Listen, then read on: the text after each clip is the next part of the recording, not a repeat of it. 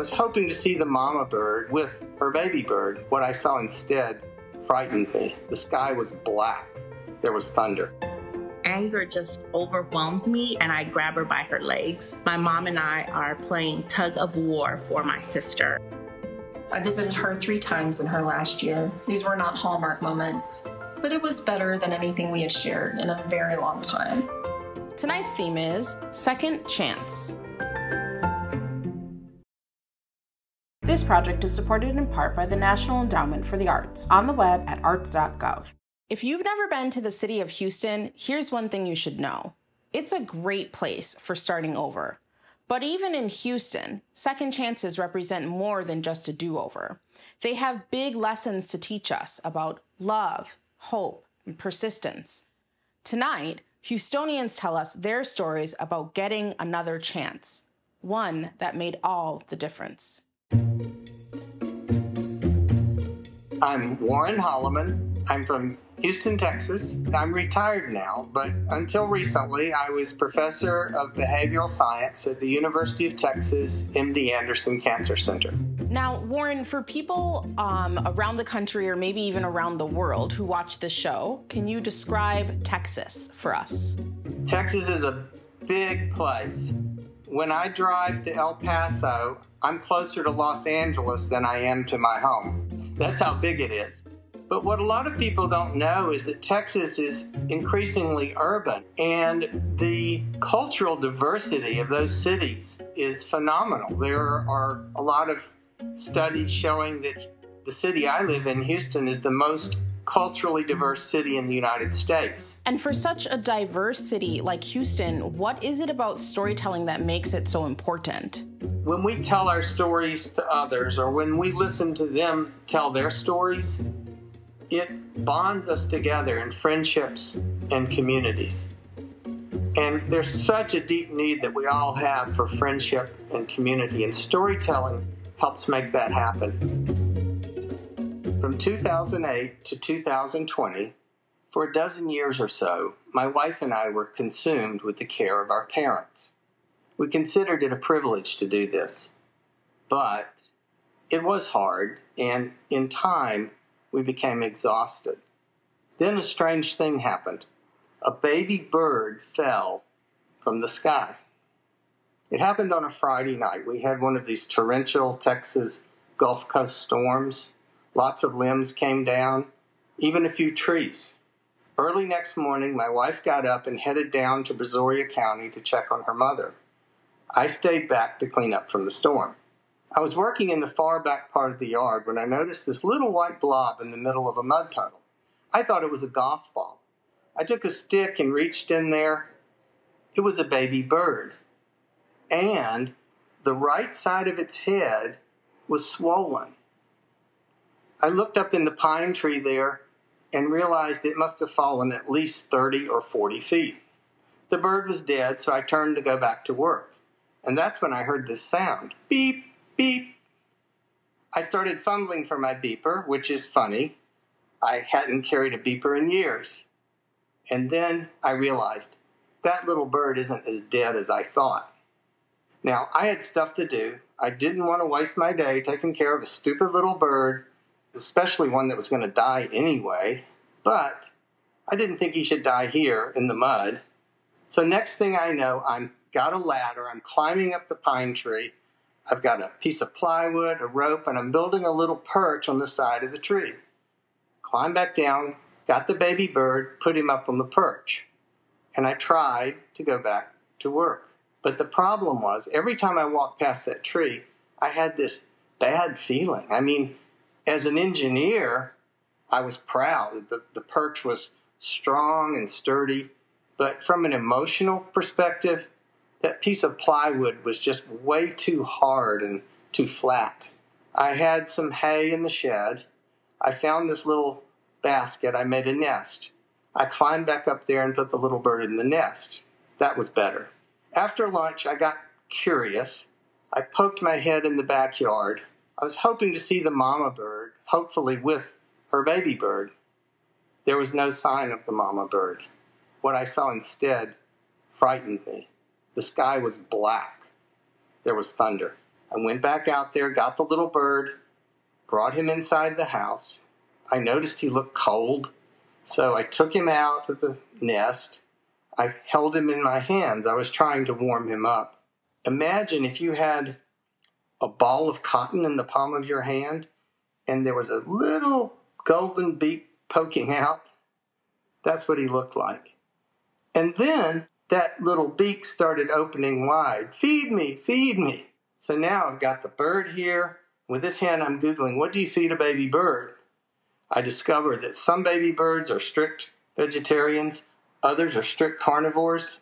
If you feed either one the wrong thing, you're going to make them sick. I tried Googling pictures of baby birds to see which kind I had, but my baby bird was just too tiny. And then an internet miracle happened.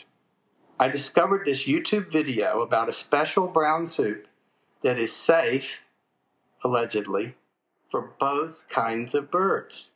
It's a very sophisticated formula. You mix dog food and water. To be honest, the video was made by an eight year old boy. I'm a scientist, a healthcare scientist at that. We don't generally recommend that people get their medical information from eight year old boys on YouTube. So now I'm at the sink giving the little bird a warm bath when my wife surprises me by walking in the door. She said she came home early. She didn't want to get caught out in that storm. I introduced her to Ralph. By this time, I was calling him Ralph, and explained that he didn't want to get caught out in that storm again either. By this time, Ralph wasn't chirping or peeping much anymore. So we just sat on the sofa and we took turns holding him. And when we did that, something magical happened. My wife, Marcia, who doesn't usually talk about these things, was holding Ralph and she said, You know, my mom is a lot like Ralph. So frail, so vulnerable. And yet, she said, Mom's still happy. Marcia handed Ralph to me. I started talking about my mother. I talked about how 10 years earlier she had been so frustrated with all those trips to the emergency room. She begged my brother and me to set up a home hospice arrangement. We found that to be so complicated and so absolutely worth it. In the last couple of years of her life, there were these rich moments. Maybe she'd be sitting on the sofa reading a book, or maybe she'd be out digging in the garden. Rich moments where she would just stop everything and she would sigh out loud and say, This is paradise. I had almost forgotten about those moments. Then we talked about my wife's father, how he, like my mom, wanted to die at home and how he did that quite literally. He tripped, fell, and hit his head as he stepped out the front door and onto the porch. That was a painful memory, of course.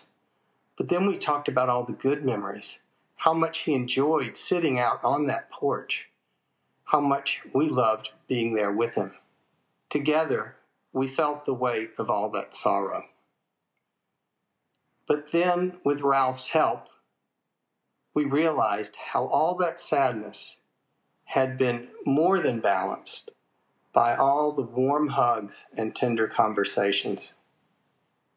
When it was all over, we buried Ralph in the backyard. We actually made a casket of his little nest and buried him in that underneath that same pine tree. And every time we go back there, even to this day, we thank Him for rekindling our spirit, for giving us strength to carry on. My name is Raquel de Los Angeles, and I was born and raised in Houston, Texas. I am a social worker for a pre K school for low income families. So, Raquel, how did you discover live storytelling? Even as a teenager, I always enjoyed journaling, you know, my feelings in a journal and writing stories and uh, things like that. And it just kind of progressed into storytelling. And what part of storytelling do you enjoy the most? I think um, when I tell a story and I do get, you know, a laughter or a response from the audience. I enjoy that connection that I make with them, that I enjoy making people happy, make, making people laugh, and kind of forget about anything else that they're going through or may have gone through uh, on that day. And with the story that you're about to tell us tonight, what would you like people to take away? Sometimes bad things happen, but that doesn't define your future.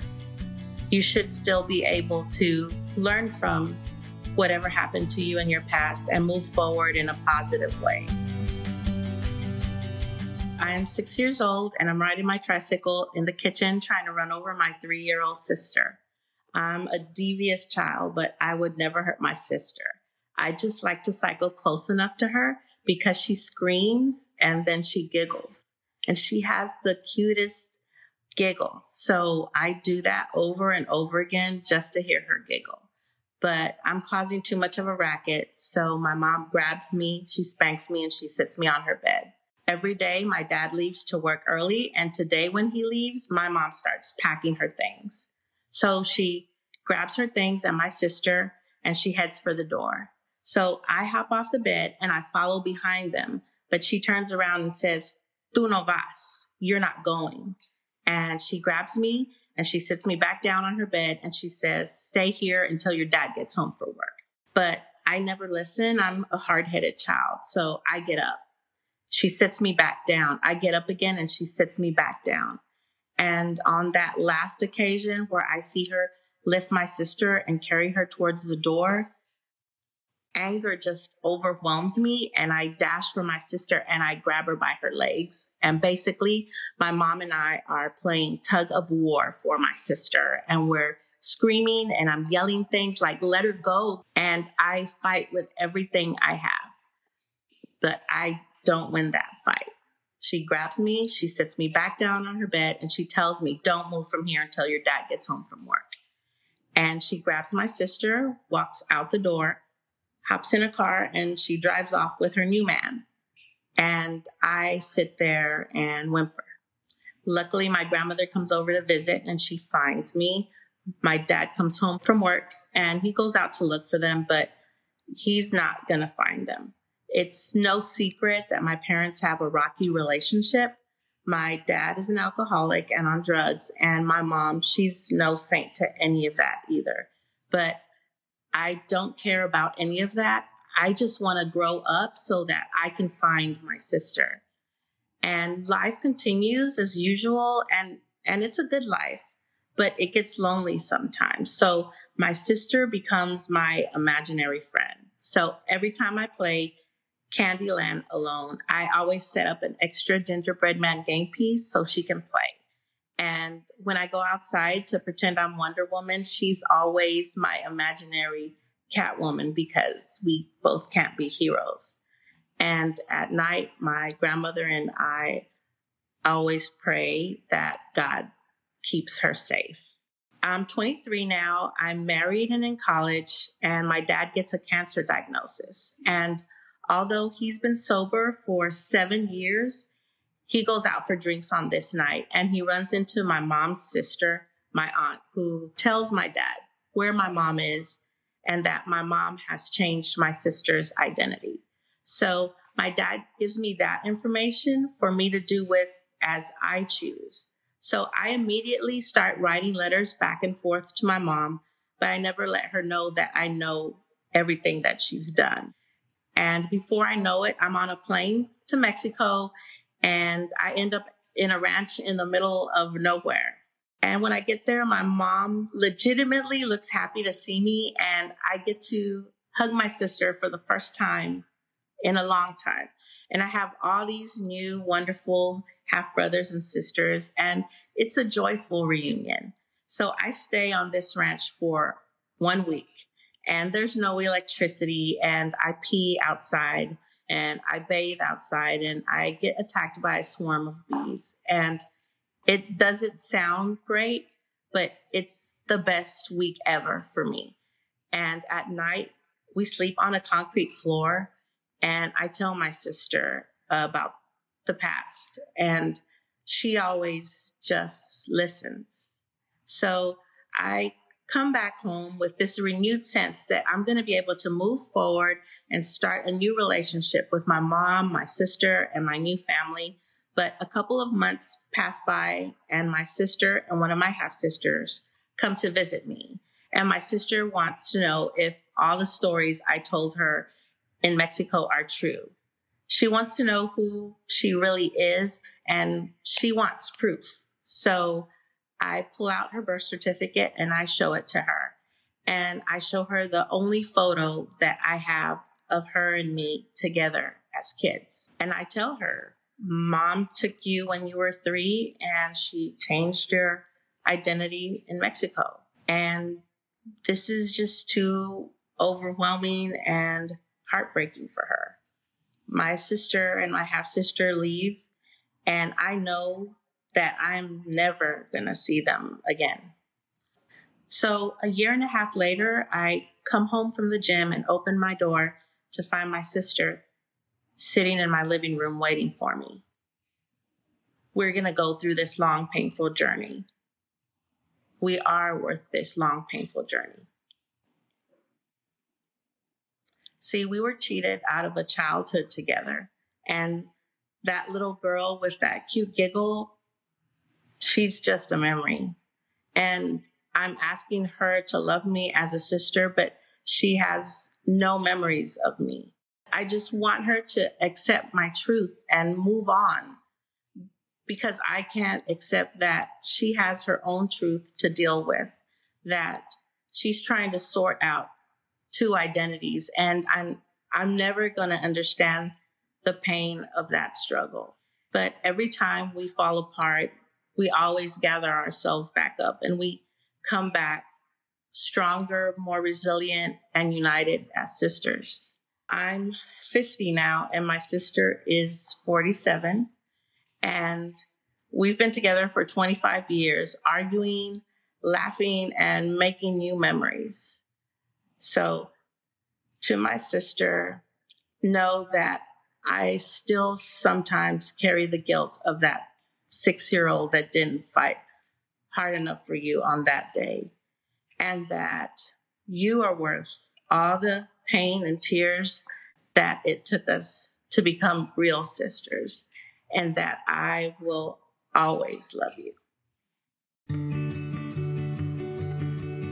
My name is Mandy Trichell, and I live in Houston, Texas. I'm a fitness professional and a writer and a mother of three.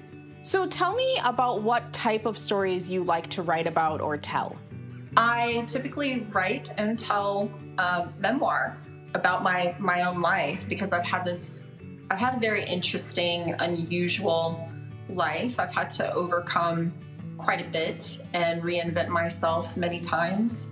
I find that sharing my stories really helps people who have gone through similar things feel less alone and it inspires other people to share their stories as well. And what do you find still challenging? It's remembering the details, the, the fine details, because it's very easy to remember in general what happened and how you felt when it happened, but to remember, you know, the colors of the walls and the smells that were there and the specific things that were said, that remains for me the most challenging part of writing. I was looking for things my mother had written. I hoped for journals, but instead I found uh, random lists and single paragraphs scattered amongst pill bottles and cigarette cartons. I opened a notebook I found peeking out from under her bed and read aloud from it. Did you know my favorite colors are royal blue, red, and green on black? I do not like pastels. I looked over at my sister and apologized. I had just talked her into choosing pink roses instead of red ones. The list went on. I love history, archaeology, and cryptology. I love my children more than life itself. I struggle every day to overcome my depression. I have social anxiety. I avoid crowds like the plague. It is very hard for me to communicate with anyone. I couldn't help but notice that this one little list showed more self awareness than she ever had when she was alive. On the next page, there was only one sentence I miscarried a child from Stan, and he called me a liar. Stan had once been our stepfather, and he, like all of us, found it difficult to know when she was telling the truth. Going through my mother's things is chaotic and unpredictable, like she was. Underneath a pile of junk mail, I found a yellow legal pad. Across the top of the first page, it read, My last will and testament, January 15th, and the year was either 2017 or 2019, but it was truly impossible to tell which. I read it out loud. I leave all my things to my son Joseph and to my daughter Bobby. I wish that only them have authority over everything when I die. I wish to be buried and put to rest in a cemetery. Do not have me cremated. So we had just had her cremated like within the hour and this was sort of a comic relief that we all really welcomed. And after we had a really good laugh, uh, I, I finished reading the will. My daughter, Mandy, that's me, and my son, Gabriel, are to have no authority at all concerning me. They are to receive nothing when I die. That hurt, and I teared up. You see, she had nothing, so to explicitly state that I was to receive nothing was meant to be hurtful. All I could think was, surely she wrote this two years ago in 2017 and not just a couple of months ago. My mother and I had gone in and out of years of estrangement. She had a history of writing me letters detailing her disappointment in me. She was known for making up stories about her life that were derived from soap opera plots. Uh, she attempted suicide more than once. When I was a teenager, she would leave my younger siblings with me and stay gone for days. There was neglect, there was abuse, and endless CPS visits over the years. About two years before she died, I started wanting peace and I didn't want to hold on to the resentment anymore. I had just reread the book, The Four Agreements, and that second agreement, take nothing personally, was really speaking to me. I asked her about her cat. She asked me about my kids. There were heavy, uncomfortable silences, but we continued to have these phone calls. I started to feel a real heartache for my mom. She was a girl who got pregnant at 16 in 1975. Her father forced her to drop out of school, marry a man she didn't love. She was severely bipolar and would eventually be diagnosed with uh, borderline personality disorder. At 58, she was diagnosed with stage four kidney disease, uh, complicated by diabetes and congestive heart failure. She refused to follow doctor's orders, wouldn't go to dialysis, wouldn't quit smoking. My brother and his husband went out of their way to take care of her, but she often refused that care. I visited her three times in her last year. These were not Hallmark moments. There were forced smiles and awkward hugs, but it was better than anything we had shared in a very long time. In April 2019, my brother called to let me know she was dying. She took her last breath as I was flying over our home state of Louisiana to be with her. Back at my cousin's house, I looked at the date on the handwritten will. Had she written it two years ago in 2017, before we started talking again? Or recently, just after our visit at Christmas? I picked up my glasses to take a closer look, and I realized it didn't matter. Every phone call and visit in the last two years had been in the spirit of letting her know that she was loved. Why should I expect more of her now in her frailest moments in her last days? I'd always felt betrayed by my mother, as if that's all she was my mother. I understand now that it wasn't personal. Her service was the next day, and commemorating her life would be a challenge. So I chose to simply share some sweet memories. I spoke of sneaking into her room as a little girl to read her journals and finding these beautifully drawn landscapes, even though she had never taken an art class. I told them about how she would play guitar and sing uh, sitting on the dock of the bay when she was having a good day. And of course, I had to share that my mother was a pool shark. She taught me how to play when I was 11. And when I was not much older than that, she started taking me with her to dive bars to hustle pool together. My most treasured moment, though, was our last exchange in a hospital just a few weeks before she died. As I was leaving, I said to her, I love you, Mama. She patted my hand and said, I know you do, baby. This project is supported in part by the National Endowment for the Arts on the web at arts.gov. Watch Stories from the Stage anytime, anywhere. Visit worldchannel.org for full episodes and digital extras. Join us on social media and share your story only on World Channel.